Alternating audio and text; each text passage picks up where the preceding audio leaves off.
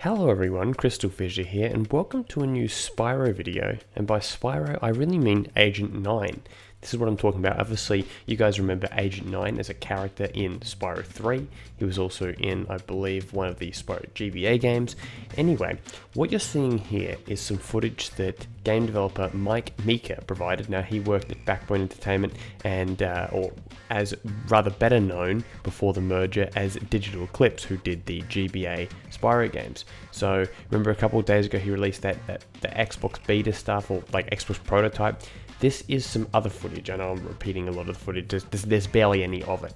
However, really briefly, I believe he still has the ISO of this, and we may be seeing more. But this is the first bit of footage that uh, he's shown off. Now, just to you know, to get everyone to prepare everyone, you got to remember this was very very early prototype, very very basic. Um, this was not how the game would have looked in any way. However, someone that actually worked on the original three praised the way that uh, it looked like Agent 9 controlled even in quite an early demo, so it's quite exciting. Now, it should be noted that this is not the Agent 9 game. The, the other Agent 9 game was done by a different developer that we saw a video of, like a whole promotion. This was different. This picture here is more in line with what it would have looked like uh, if it had gone ahead. A bit more vibrant, um, you know, obviously a bit more cartoony and stuff like that.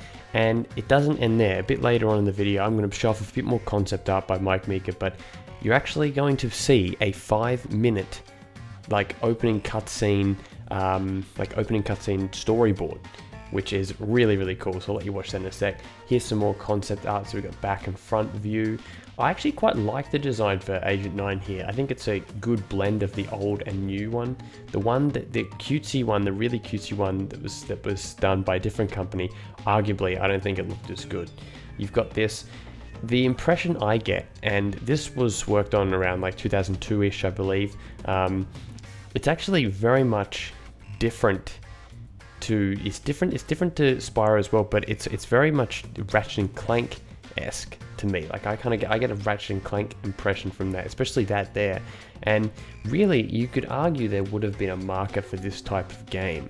Um, I mean, it, it's not it's not that out of the realm of like it's not like it was a marketing nightmare. At least doesn't look like a marketing nightmare in the early stages. Maybe it could be later. This was meant to be one of the villains, a reference to Charlton Heston. I've never heard of him, but I probably should have. Eh? Yeah, there he is as well. What in the name of Cornelius do you want, you four-thumbed waste of spandex? Well, I'm, I'm not going to do an impression of the actual guy, but yeah, there you go. That's cool. Agent Omega. Kenny Omega. Alright. Anyway, guys, here is a five-minute show reel or five-minute introductory cutscene uh, storyboard.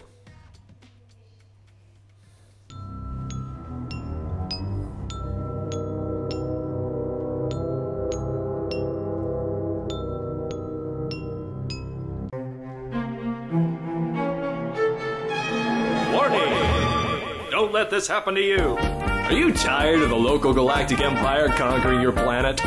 Frustrated by pesky slave traders raiding your village? Well, then don't delay. Contact the professionals. Agents for hire. Our offices are open 78 hours per galactic day to suit your schedule. Your money will be well spent when you choose our services. We have packages specially designed to suit your needs. Wow! Our specially trained troubleshooting agents are ready to take on any cosmic mishap. No job is too small, not even for Agent 9. Oh, oh, him! We want him! Who hasn't heard of Agent 9? Just look at him! He's huge! He's a legend! Now there's a hero! He's tough! He's indestructible! He'll whip their hides real good! Ahem. Gentlemen, I feel I should warn you that Agent 9 is unbelievably expensive. And given the scale of this job, I wouldn't dream of risking one of our lesser agents. How do you expect to pay for him? Hmm? Hmm. We offer you everything we have.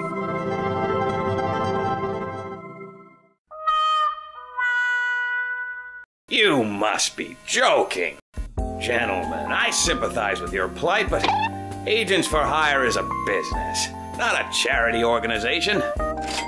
If you want, we could possibly squeeze you in for Agent 31. Sir? He may seem small. Uh, sir? what? Sir, this is Avarium. The ahem, most precious metal in the galaxy. Gentlemen, please accept my apologies. If it's Agent 9 you want, then Agent 9 you shall have. I followed your orders, sir. Agent 9's fuel and equipment are ready for immediate departure.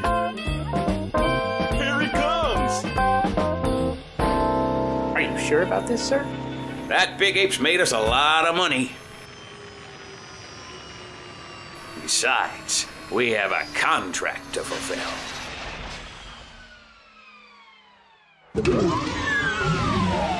Welcome home, Agent 9. I know it's awfully early, but we have another assignment for you.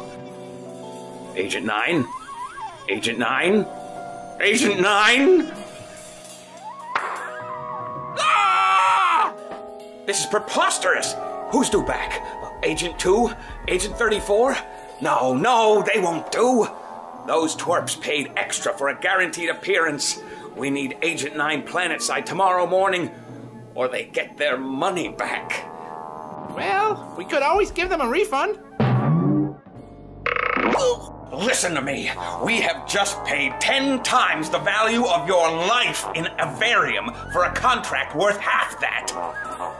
If you think I'm going to throw away a commission like that, I'm sorry. I'm sorry. But, but we don't have an Agent 9.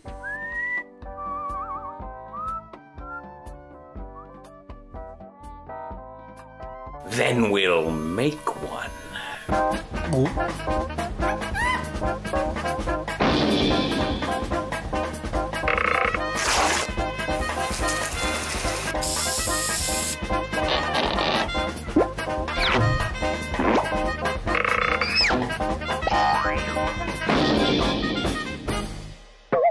hate to do this, son, I really do. But we have a contract, and I just can't take any chances. I know you've got some big shoes to fill, but you'll make a fine Agent 9. Just look at you. Aye, you're hero material. If you have any trouble, just activate your Omega device.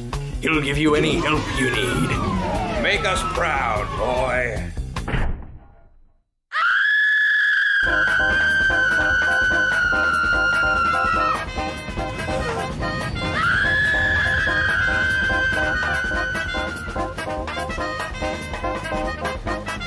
See him again? Who cares? Firstly, can I say that I absolutely adore the music? I know that it's probably just like stock music, but it's great. It's got this real, you know, corny, jazzy vibe to it, like with the whole commercial and everything like that. In terms of the pitch, uh, I mean, it's it's pretty it's a pretty decent first pitch, I think. I mean, I would have loved to see some of the stuff animated, and in fact, again, tying into the whole Ratchet and Clank thing, is that it kind of to me feels like it could be but you know in that universe like there's sort of that that cheap vibe to the you know presenter and stuff like that you know like the you know used car salesman-esque sort of mentality and stuff like that you know jokey taking the piss uh, but then there's also you know a story you know woven in there as well. It's not just a joke. Um, a lot of the a lot of there's a lot of different shots a lot of things are uh, you know coming in and stuff like that which I almost want to slow it down and actually look at the pictures in more detail because there's a, you know, there's a fair bit here that's would have taken a considerable amount of time.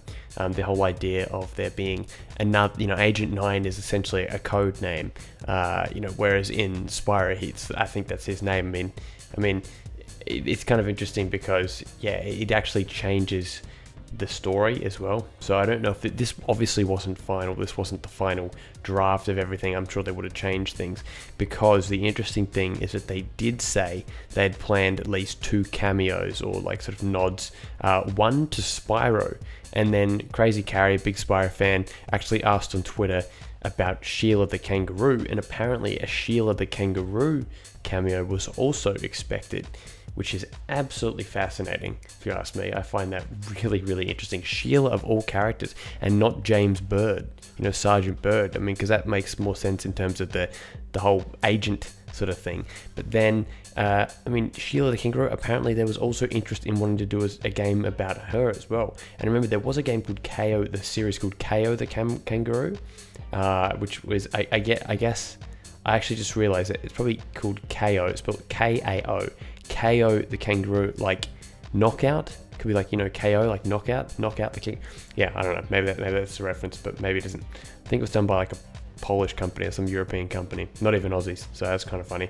But yeah, I like look at that picture there. I, I like it. I, I, would love to see. I would have loved to seen this vision actually play out. Uh, that that's that's the kind of thing that I'm, I'm getting from this. That's my impression. Like, okay, you know, what must have gone on? And I said this in the other video, but just the amount of politics and shit that must have gone down in the early 2000s after you have a series on a silver platter to Universal, and somehow the the only thing that they actually comes from it is Enter the Dragonfly, a rushed mess, right? And then some GB, GBA games which are cool, but everyone wants to play the proper 3D. You know what I mean? Spyro uh, can be 2D. You know, it can be 2D if you, if you do it right. I'm sure someone will come along and you know do it right one day. Maybe you never know. But whether it's a fan game or something else, but like the way I mean to think that there was three GBA Spyro games, right? Three GBA Spyro games, and yeah, they got better as they went on, but they could only muster up two 3D platformers in like five, six years before, uh, what was the next? Five years before the Legend of Spyro series. To me, it's just a disgrace. It's just, it's criminal, criminal incompetence when it comes to the developers. And then you have all these cool ideas like Agent 9 and stuff like that, who isn't even a super popular character, but you know, they could have done something with it. They could have made something with this. They could have actually, you know, tried something else. In fact, if they'd done it right, they could have had it, uh, uh you know, alongside a, a um, Ratchet and Clank. I mean, maybe it would have been compared to Ratchet and Clank. Maybe it would have been too negative. Like they would have been like, "Oh, this is copying Ratchet and Clank." But I don't know. You know, like why not try? Why not try? I mean, Universal seemed to take all the completely safe options when it came to this, and it's very disappointing. Anyway, I hope you're enjoying all these, uh, you know, the cutscenes again in in slightly hopefully, you know, now that you don't have to listen to, now you have to listen to me incoherently ramble, you get to see, uh, you know, in a, in a, bit more detail because there is a description in there. So maybe I suggest you pause it if you want to sort of read things into more detail. But yeah, I think with it, the video now going for 13 minutes, I reckon I've ranted enough. But there probably will be more from this. This is not the last I think we'll hear about it, but very, very interesting developments. Thank you again to Mike Mika for providing all this footage. I think you've done a fantastic job leaking, you know, leaking, sharing this with the public, and I think everyone really, really appreciates it. So thank you again, Mike. Thank you guys for all the support as usual. Be back to doing some more Let's Plays, Crash Bandicoot and Transcend Trilogy and Spyro videos and stuff like that very soon. Uh, it's going to be fun. Thank you guys. Goodbye. Hey, Scotty. Jesus, man.